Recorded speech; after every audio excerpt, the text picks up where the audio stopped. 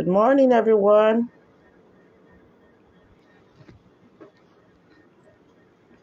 Good morning, everyone. Good morning. Welcome. Welcome, Instagram. Welcome, Facebook. Good morning, good afternoon, and good evening from wherever you are joining this live broadcast from. I'm your host, Pastor Esther Obeli.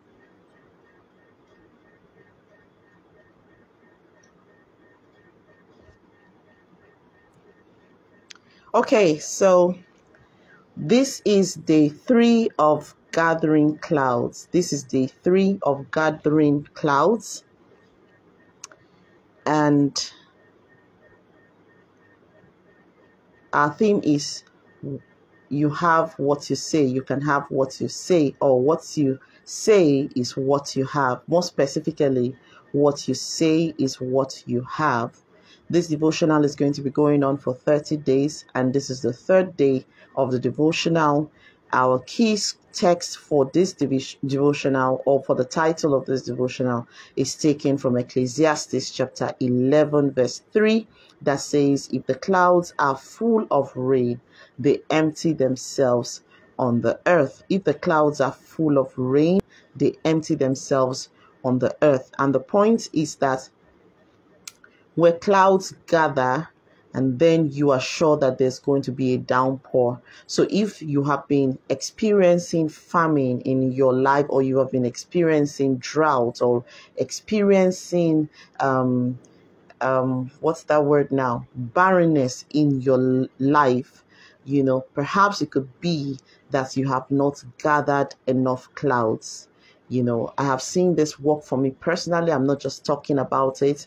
You know this is it one topic that i am passionate like 100% passionate about because i have just with prayer i'm passionate about prayer. I'm passionate about gathering clouds which is um um, speaking, making confessions of your faith, you know, and the reason is that I have seen it work in my life. Like I saw it work in my life at the time of my Christianity, where when I didn't think I didn't know that this was what Christian, this Christian faith was about. Good morning, Sam. Good morning, everyone joining us. Good morning. It's good to have you back here once again. So these are things I'm teaching this from a place of experience because I have seen this, you know, work in my life. I've experienced it in um, different levels and on different um, dimensions. And every time it comes to me fresh, okay like it just blows my mind completely glory to god so gathering clouds when we're going to the the whole idea is that the more you speak the word of god it may not happen overnight, but you will gather it gradually, gradually until one day it will surely rain on the earth. And I told you that the things of the gospel, the things, the principles of the kingdom of God, that they are scientific, which means that it is possible, like it is possible for you to know the steps to take. And when you apply those steps, you will get a desired outcome. You know the outcome that you want, and then you will get that desired outcome when you follow the steps of the principles. Glory to God. Okay, so um, we're going to be um, taking today's topic is gaining the mastery over your confessions. Yesterday we talked about the high priest of our confession, and that is one topic that has a great impact in my life. And this today now we're talking about gaining the mastery over your confessions, gaining the mastery. We're still looking at Hebrews chapter 4. Remember, yesterday we read Hebrews chapter 4, verse 1 that says that Jesus is the apostle, that we have to consider the apostle and the high priest of our profession. And the word profession is confession, it's the same thing as confession. So the scripture in Hebrews chapter 4, verse 1 told us that Jesus is the pioneer of this lifestyle of confession. And not only is it the pioneer of it, that Jesus also is the representative, he, he represents us based on our confession. Jesus would only represent us based on our confession. All right. And then we also looked at Hebrews chapter 4, verse 14, that says that we seeing that we have a great high priest that is passed into the heavens, Jesus, the Son of God. Let us hold fast to our confession. And so today we're talking about gaining mastery. The Bible tells us to hold fast to our profession, to hold fast to it. Like to how do you hold fast to something? You would not let go. Like you take a hold of it and do not let go. It says hold fast to your profession. Hold fast to your profession. And and I'm saying that for you to be able to hold fast to your profession, you need to gain the mastery over your confessions. Glory to God. You need to gain the mastery over your confessions. So, taking it a notch higher, we're just going to be looking at the professions that we're supposed to be holding fast onto. You know, for instance, we see that um, the Bible tells us that first and foremost of course you have to understand that the bible you have to you have to hold fast to that belief that the bible the full integrity of the bible the bible is the inspired word of god. If you still have it at the back of your mind that oh it could be written by men or it, of course it's written by men but inspired men that were inspired by the holy spirit. So if, eh, so eventually the entire bible was written by one person who is the holy spirit from um, ages to ages. He used different men quite right but the spirit of god is eternal. Glory to god. So you have to settle it in your heart that the word of god is the inspired word of god the bible is the inspired word of god and that the bible has full integrity. If you're going to be accommodating thoughts you know from different areas concerning the Bible, and they tell you, oh no, it may not be true. You know, there are fallible men that wrote the Bible, and then this, they said this because of this and all of that. You might not be able to get the, the benefits that you're supposed to get from the Bible. You have to understand that the Bible, the full integrity of the Bible, like hold fast to your confession concerning the full integrity of the Bible. All right. Hold fast to your confession of the absolute integrity of the Bible. Declare in the name of Jesus, I hold fast to my confession of the absolute integrity of the Bible. You know, as we're teaching and any confession comes up, I'm going to say it, and I expect you, wherever you are, speak it out loud because you don't know where next or um, how you're going to be able to come across such a confession again. So just declare it. If you have a notebook, write down the confessions that you hear. And in your spare time, I told you, you give time, just the same way you give time to prayer, you give time to study of the word, you ought to also give time for your confessions. Glory to God. All right. So we hold fast to the confession of the absolute integrity of the Bible. Also, hold fast to your confession of the new creation of receiving life, the life and nature of God. Declare, they say, I am the new creation in Christ Jesus. I am a new creation in Christ Jesus. All things are passed away. Behold, everything is now new. Declare, it, say, I am the new creation in Christ Jesus. What that means is that you have the divine life of God coursing through your body, through your blood, through every area of your life. That means that you cannot be disadvantaged. When you make these declarations, you be, you make it to become a reality in your life. Oh, I am the new creation in Christ Jesus. I am the new creation in Christ Jesus. I receive the life and nature of God. Declare, I have the life and nature of God. Glory to God. I have the life and nature of God. I have the life and nature of God. You see, the entire Bible is actually something that, you know, when you read the Bible, it's not just about head knowledge, as much as it depends on you, try every way possible, you know, to make the confessions that you see, the words that you see, when it says that this is who you are in Christ, make the confessions, like declare it out loud. Oh, wow. The Bible says, I'm rich, I'm rich, I'm rich.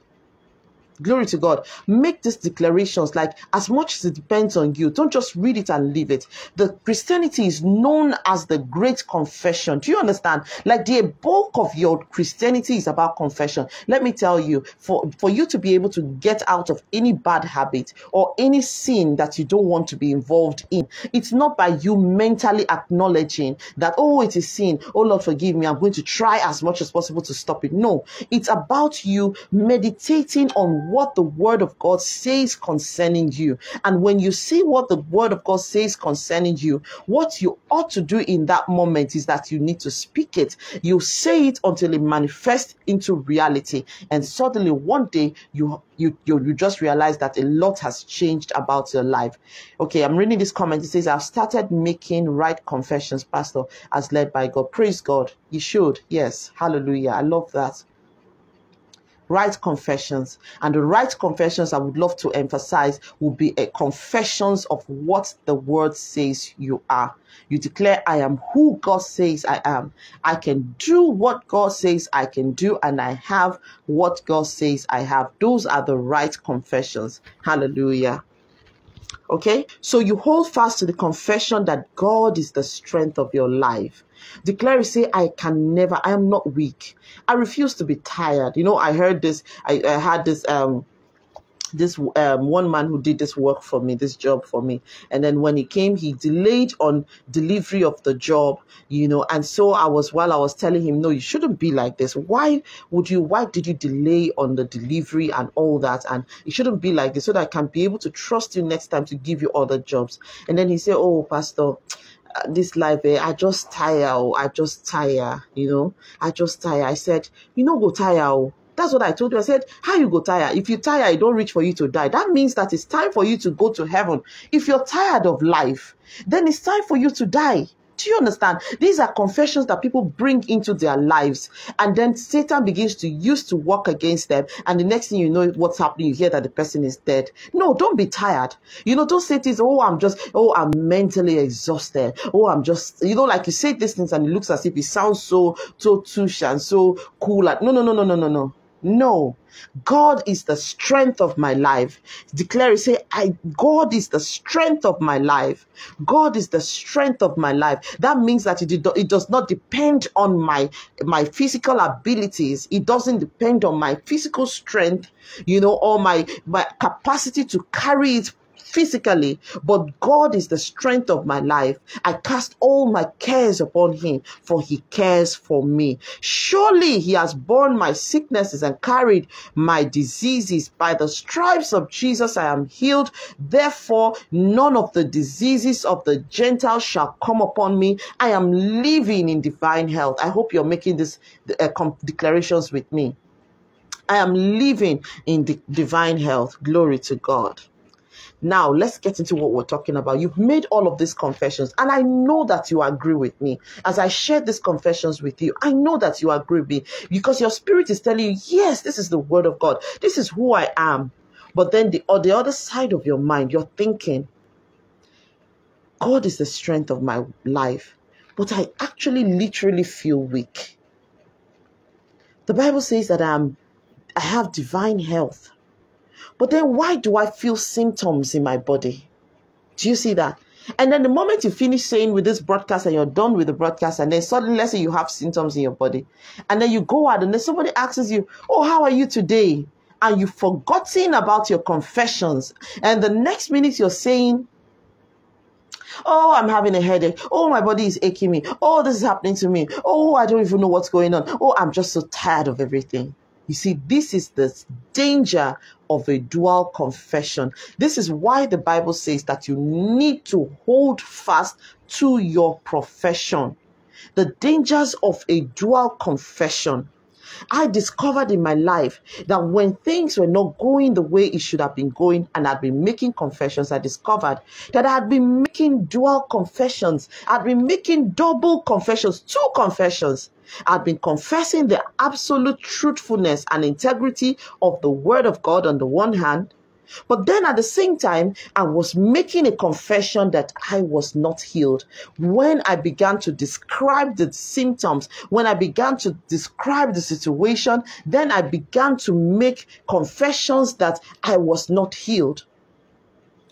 If you had asked me, do you believe that by the stripes of Jesus you are healed? I will say, Yes, absolutely. I believe that by the stripes of Jesus I'm healed. But the next minute I'll say, Oh, my head is banging.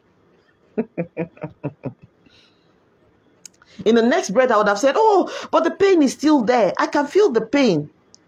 The second confession nullifies the first. And do you know what I learned? I learned that your emotions, your feelings, what you actually believe about the confessions, it's, it works. Whether for or against you. I learned that. That it works for or against you. So when you're making the confession, you can feel the pain. The pain is more real to you than the fact that the, by the stripes of Jesus you were healed. After all, you were not there when Jesus was crucified on the cross. So the pain is much more real to you. And then you begin to describe it. Something I learned a long time ago. Learn to speak God's word more than you are describing the situation. I found out that in description of the situation, you make an effort to make the person listening to you to believe you. And when you're making an effort to make them believe you, it shows that you are convinced about something. See, if I wasn't convinced about this topic, I would not, you know, say it with so much passion or talk about it with so much passion, right? So many times when we're explaining the situation or describing the, the, situation, we are saying it with so much passion that we want the next person to believe us. But you see, when they believe you, what is the extent to that? You bring back the same reality that you're trying to get rid of into your life. This is the danger of a dual confession. confession. Yes, the word says without wavering, without wavering. No dual confessions in your life. Glory to God. In reality, you see two confessions. First, a confession of perfect healing and redemption in Christ. And then the next, in the next breath, you see that people are talking about it as if redemption and healing was not even a fact. You are so focused. They tell you, oh, don't worry, pray about it. I've been praying about it. So, what's the point of you describing your situation to me, really, if you have already prayed about it? What was the point? Because if you prayed about it and you believed the prayers and you believed the words that you spoke, you believed the absolute integrity of the word of God, there would not have been any need for you to call my attention again or draw my attention again to that thing, to the, the thing that had happened. Glory to God. So you have to hold fast to your profession. Hold fast to your confession. You need to stay. Learn to have just one confession and that one confession only. I found out that you do not need to even convince anyone of your situation, of your negative circumstance. You don't need to, they don't need to know about it. You don't need to convince anyone about it. How about if every time you speak, you're speaking something about, and I'm not just talking about positive words, I'm careful not to use positive words because positive words could mean that somebody is just, um, what's that word now? Um, motivating you See, motivational speakers are not necessarily kingdom preachers. Motivational speakers do not necessarily speak the word of God or preach the word of God. A motivational speaker could tell you something that is out of the Bible, in fact, but makes sense to your intellect, makes sense to your natural being, but not a spiritual truth all right? But there are there are some motivational speakers who are also preachers. Like a preacher when you listen to a preacher who is speaking life from the bible you are motivated. You are inspired. Now there's a difference because this is inspiration by the word. This is also inspiration by the spirit. It's not just uh, mind inspiration. It's not just on this level. All right? So learn to have just one confession only one confession. If you confess that God supplies all of your needs, then you must not nullify that confession by saying, Oh, yes, God supplies all my needs, but I can't pay my rent right now. I can't pay the telephone bill right now. Where's the money going to come from? Faith would hold fast to the confession of the word of God in spite of all odds hold fast to it in the conf you have to give glory to god. Keep thanking god. Father i thank you because i know it's done. I thank you because i know it's done. The moment you think about the fact that oh there is a lack somewhere oh lord i thank you because i have received all of my needs met in the mighty name of jesus.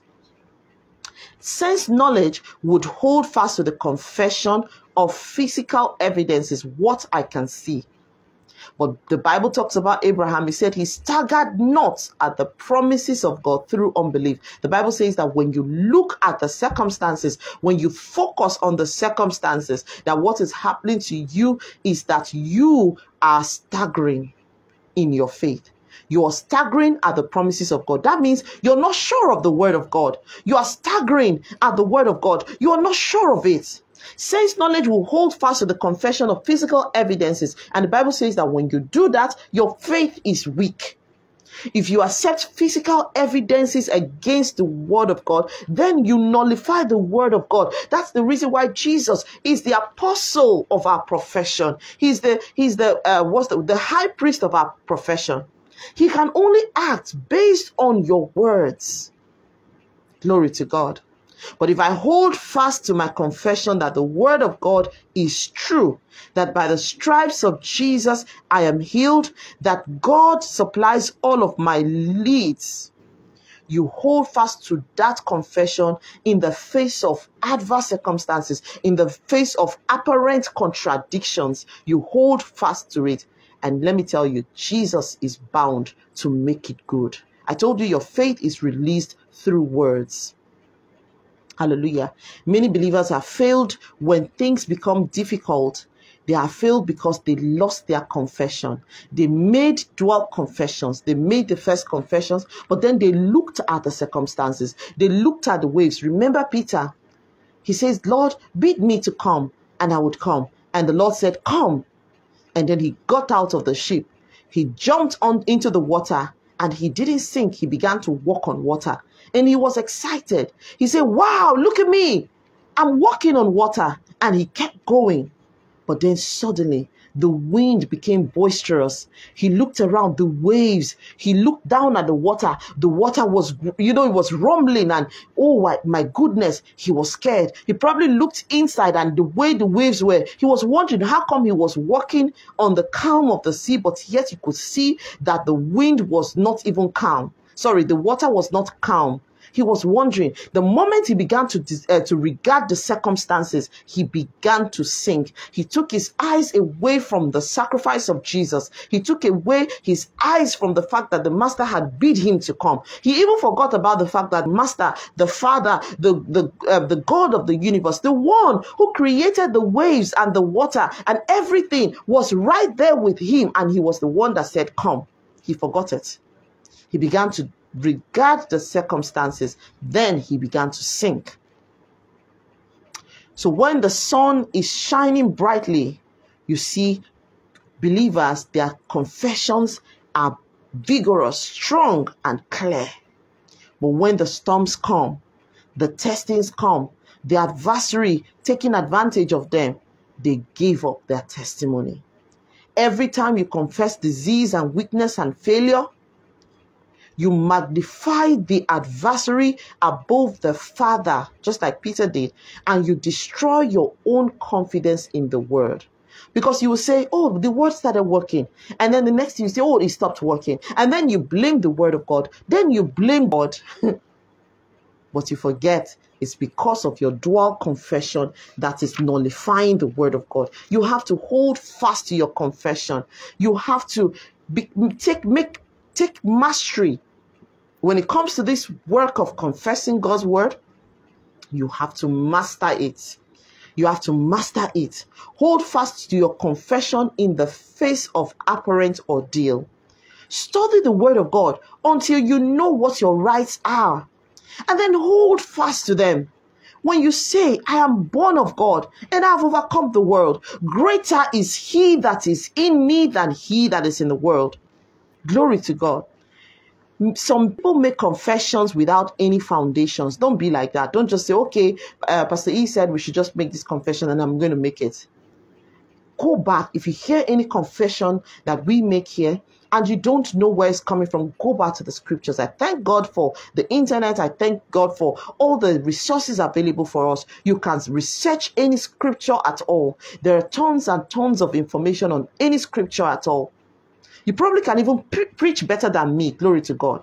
All right. But make, go back and make these studies like study. You know, don't just stay and make confessions like that, you know, out of the blues, because when the adversary comes and whips you and beats you badly, you would not have anything to say. The word of God has to dwell deep inside of you. When Satan comes, you say, It is written. It is written. Remember when Satan came and uh, to try to tempt Jesus? Jesus said to him, It is written the first time. And then he said to him again, It is written the second time. But the third time, Jesus turned to Satan and said, It is said. Do you understand what it means? It means that Jesus told him, Listen, I'm not just telling you what is in the Bible, I am saying it to you right now. And once the Rhema word comes out, that's the end. And the, the, the devil flee, uh, uh, uh, ran away, left, he went away. Glory to God. So know what your rights are in the Bible. If you know that God says that you are healed, then know that you are healed. Make your confession after you have studied. Glory to God. Nay, in all of these things, we are more than conquerors. You can make your confession. Greater is he that is in me than he that is in the world. You can make your confession. Stand by your confession through thick and thin, through the good reports and the, uh, the, the, the evil reports. Know that your confession is according to the word of God. The Revelation chapter 12, verse 11 says, And they overcame him by the word, blood of the Lamb and by the word of their testimony. Glory to God. Now let's make a little bit of confessions, a few confessions before um, we round up for today. And before we make the confessions, yesterday I mentioned to you that it's important that you spend time praying loud in other tongues. And so I am making the assumptions that you have a spe- specific prayer time, you know, each day that you pray in tongues that you have a specific time every single day where you pray in tongues. That's what I'm making the assumptions. I'm assuming that you spend time praying in tongues, and so that when you come here to make confessions, it is not something that is out of the blues. Glory to God, because you're applying um, energy, spiritual energy to your to your words. Glory to God. All right. Today's confessions, we are talking about pleasing God. And um, just before we start, I would love for us to just pray in tongues in a little, a few seconds before we would go into that just to practice what we have said. Okay, let's pray in tongues a bit. Liko zale okasho katalaba lingo tu alebo so kazitu la iko sunaninto makusi delipo shoka satulomo makese la litu shatalaba rakune ingo tuti lazo zobo so sheke nanimo amoko sota kiso litu senintalaba bakushe nekito la luce lizo soko sinenimo koshati kotalipo baruko sheke telemunde lizo sabo so sheke shuse ketalama. In Jesus mighty name amen. So our confessions we are making confessions concerning pleasing God today. Our first confession is taken from John chapter 8 verse 29 so say this with me I always do those things that please God. I always do the things that please God. I always do the things that please God. Say, this is the motivating force of my Christian life, doing things that please God. So it's not about you thinking that you want to please God, but say that you will please God and you will. Glory to God. You will align. Everything in your life will align. Say, I am the Father pleaser. I am the Father pleaser. There's no other Father but God our Father. I am the Father pleaser. I do all things. I do all of those things that please my Father in Jesus' name. Our next confession is taken from First John chapter 3, verse 22. Say this with me. Glory to God. Whatever I ask of God, I receive of Him because I keep his commandments and I do those things pleasing to his sight, pleasing in his sight. Whatever I ask, declare, say, all my prayers are answered because I am I do things pleasing to God. All my prayers are answered because I please God. How about that? All my prayers are answered because I please God. Hallelujah. Declare it. Say this with me. Say, all my prayers are answered because I please God. Amen. Answers to prayers are conditioned on doing things that please God. Hallelujah. If your prayers are not answered, you have to seek to know Him more. It's possible that you're not doing things according to the system, uh, the things of the kingdom of God. And if you're not, you can speak yourself into reality, into that reality. Glory to God. Our next confession is taken from Hebrews chapter 11, verse 5. It talks about Abraham. It says that Abraham had this testimony that he pleased God. So make this declaration. Say, in the name of Jesus, I have this testimony that I please God. Hallelujah. I have this testimony that I please God. And I just want to um, say, chip this in. This is not part of our confession because we're talking about confessions of pleasing God. But this just um, came to my mind. And when it comes to my mind like this, I will just say it because I don't know if it will come to my mind another time. All right. I realize that a lot of Christians are apprehensive about making it to heaven or going to hell. But listen to me, just like every other thing in the Bible, just like every other thing in the Christian walk, you go to hell or you go to heaven by faith, based on your faith. So if you want to make it to heaven, you want it to be a sealed deal, make the declaration in the name of Jesus, I do not miss heaven. I do not miss heaven. In the name of Jesus, my whole life, spirit, soul, and body has aligned with the gospel scheme. My spirit, my whole, my whole life, spirit, soul, body have aligned with the gospel scheme. So you declare, I make heaven. I will not make, I will not lose. No, I will not go to hell. I cannot go to hell. I am a child of God. I please God. My life pleases God. Hallelujah. Begin to, anytime that you fear anything in your life, there's any form of fear that comes into your mind, I want you to nullify the fear with the word of God. Declare in the name of Jesus, God has not given me a spirit of fear, but He has given me a sound mind. So you declare, I have a sound mind. I have a sound mind. The sound mind that thinks that has co-perception with God, with what the word of God says concerning me. I have a sound mind. I have a sound mind. Hallelujah. Glory to God. All right, so it is my heart's desire to please God. It's my heart desire to please God, my bold ambition that I might have this same testimony. Declare, say, I please God with all of my life. I please God with all of my life, all of my time, my talents, my money, my everything. I please God in every area of my life. Spirit, soul, and body, I please God. Hallelujah. I love this. Glory to God. Hebrews chapter 11, verse 6 says, it is in, without faith, it is impossible to please God. Say, my faith is working. My faith is working. Declare, say, I have stubborn faith. My faith does not give up. I walk in faith and I please God. Hallelujah. I walk by faith and I please God. I walk by faith and I please God. Say, I boldly live the life of faith. I boldly live the life of faith. Galatians chapter 2, verse 20 says, I live by the faith of the Son of God. And then he says that the word is near me, even in my mouth and in my heart. That is the word of faith. The word of faith is in my mouth. Says, so the word of faith is in my mouth. Then um, Romans chapter 10, verse 17 says, faith cometh by hearing and hearing by the word of God. Father, I thank you. I thank you for your word is in my spirit. Your word is established in my heart. I am seeing the dividends of the word of God, the workings of the word of God in my life. Thank you, Heavenly Father, in Jesus' name. Thank you, everyone, for watching. Thank you for joining the broadcast this morning. Remember, you have to hold fast to your confession of faith. Pick your words, like just sit down, write out your have a book of confessions. I do have you know, I have a book of confessions. Have a book of confessions. Sit down and write out your confessions concerning any area of your life that you are struggling with. So if you're struggling with your finances, write out all scriptures concerning finances, all right, and declare them. Christ has been, um, what's that scripture now? It says that Christ was poor so that he was, he became poor so that by his by so that through his poverty I might become rich. So you declare, I am rich. I am rich. I am who God says I am. I am rich. I am who God says I am. I am rich. I have what God says I have. I have divine life coursing through my, my veins, through my body, through my being. I have what God says I have. I have eternal life. I can do what God says I can do. I can do all things through Christ who strengthens me.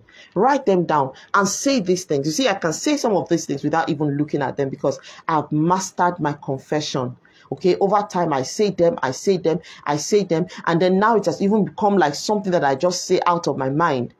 I am born of God. Let me tell you something. There's something I noticed about the scriptures. The scriptures have like um there's some things that I found that there's some some scriptures um work out in my life. For instance, I suffer like I, because I fast a lot, you know, and I'm not eating food and I'm not drinking water. I suffer spasms in my uh, muscles, you know, I, I suffer this. Some occasionally it will just come, and I know it's because I'm not drinking enough water or I'm not eating enough food, you know. And I begin to have all these muscle pulls and spasms, you know, in different areas of my body, you know. And I remember what I would suffer this in like maybe in the middle of the night, throughout the night, you know, I would just be, you know, doing that. Then I have to find like bottles of water to drink, and then I begin to drink and drink and drink, and it will still be there. Like I'll suffer it until one day I asked God, I said, Lord, help me through this situation. And you know, the scripture that dropped in my heart is that I am born of God and I've overcome the world. You will not believe it. I don't know how that even works with that, how that confession even works with those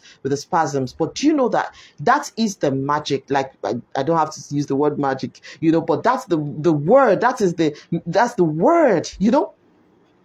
I just begin to say it the moment I start to suffer these uh, spasms in my in my body. You know, the next thing I just hear uh, I say is, I am born of God and I have overcome the world, and you will not believe it. Like almost immediately, the spasm cease. I don't have to drink water. I have to rem- remind my muscles that I'm the one in charge here. I'm the one in charge here. That's what I do. I'm born of God and I've overcome the world. That's what I say. I'll say it over and over again. I'm born of God and I've overcome the world. And before you know what's happening, the spasms stop. Okay, you got the same too, right? you know? So just try it. I don't know if it work with, for someone else with the scriptures but i'm telling you it works for me all the time. I don't even need to do any prayer. That particular confession of faith it works. Like my muscles have to rea- realize that i am the one in charge. Glory to god. I'm born of god I have overcome the world and the world systems. Even your finances, it can work. If you're at a job and it feels as if you are so, you know, like all your finances, like your your your hope is on the salary every month. You don't have any other means of sustenance. And if the salary does not come, you have no hope. And even when the salary comes, the money is not even enough. Why don't you start to make confessions? I am born of God. I have overcome the world. I have overcome the world. I have overcome the world and its financial systems. Glory to God. I have overcome the world and its financial systems. Hold fast to your profession. Glory to God. Master, gain the mastery over your confessions in Jesus' name. Amen. Father, in the name of Jesus, I pray for everyone under the sound of my voice as they have embarked on this journey of changing their confessions and gathering clouds, Lord. We ask you to help them, oh God. Uproot any thoughts and imaginations any high thing that exalts itself against the knowledge of God in their minds, let those things be uprooted. Those strongholds that stop the word of God from flowing in, those strongholds that stop the light of the glorious gospel from going and pen- penetrating right in, in the name of Jesus, those strongholds be uprooted. And I declare that their minds and their hearts are open for the scriptures to be written afresh on them in the mighty name of Jesus. Father, Lord, I thank you for any form of um, anything that is limiting them in the name of Jesus. I speak freedom. I speak freedom in your mind, freedom in your body, freedom every area of your life. I declare in the name of Jesus that where you have been feeling like there's a lot of things going on in your mind and it feels as if there's a lot of chaos going on in your heart or in your mind, in the name of Jesus, I declare that there's no more chaos. I speak peace to your mind. I speak peace to your mind. I speak peace to your mind right now in the name of Jesus. Quiet in Jesus' mighty name. You evil spirit causing all form manner of confusion to God's people. I curse you and I command you be gone right now. And I put a seal of protection around the people of God right now in the name of Jesus. And I declare that the evil one shall not touch you ever again in Jesus' mighty name. Amen. Have a blessed day today. See you tomorrow once again at 8 a.m. I have been coming early you can see actually I cannot take credit for coming early. the Lord has been helping me. You will not believe it. Like literally, He wakes me up. Like the other day, uh, was yesterday or two days ago, I felt a tap on my back. He's been waking me up, like just wake up. And I'm like, oh, okay, yeah. so the Lord is helping me right now. It's not me. He's helping me. I'm not, I'm not kidding you. Like he's, he's, I find that he's even more serious about this. You know, I, I know I wanted to take two weeks, um, holiday, right? I wanted to take like at least two weeks because I wanted to write. And then the Lord said, no, just have a weekend off and that's it. He, he wouldn't release me. He's my boss. And so we had to start this, um, this new devotional like three days later. We just ended on Thursday and then we started on Monday. That was because the Lord spoke to me, you know, and said, No, start it. And even when I felt like I was going to be tired about it, He would wake me up. Like He's been the one helping me, you know. So I hope it continues. Thank you, Lord, for helping me. Thank you. And I pray that you help others as well so that we can make the most of our time together. All right. So have a blessed day today and see you again tomorrow. Bye bye.